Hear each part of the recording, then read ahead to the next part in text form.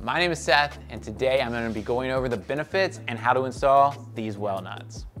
So we are taking well nuts and we are incorporating them into our engine bay kits for newer generation vehicles that have a lot of plastic clips in them like the Civic Si.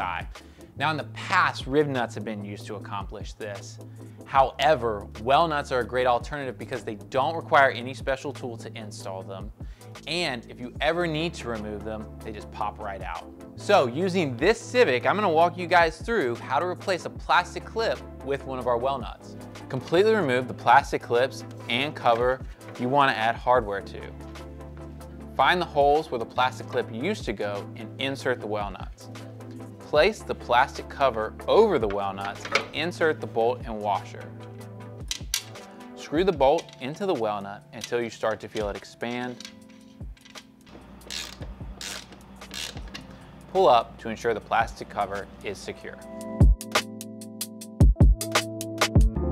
And it's that simple. If you guys have plastic clips in your engine bay that you want to replace, check out our website, dressupbolts.com. We've got a variety of well nut sizes that you can choose from for your application.